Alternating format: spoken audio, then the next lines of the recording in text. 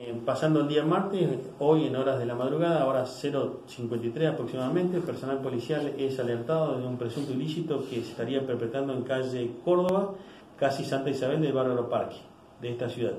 donde el personal policial acude de inmediato al lugar, entrevistando a una mujer mayor de edad, quien narra que momentos antes de circunstancias encontrarse durmiendo,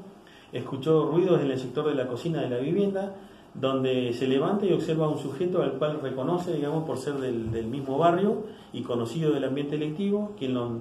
a quien lo, los indica por sus nombres, qué hacía dentro del domicilio, quien le dice y le pide que se retire. Este sujeto la empuja y se retira.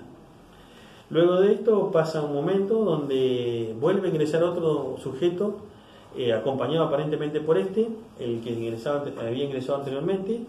quien la empuja y le sustrae el celular que tenía en su mano a raíz de que la persona, la mujer, le manifiesta de que ya venía en camino el personal policial. Luego se dan a la fuga.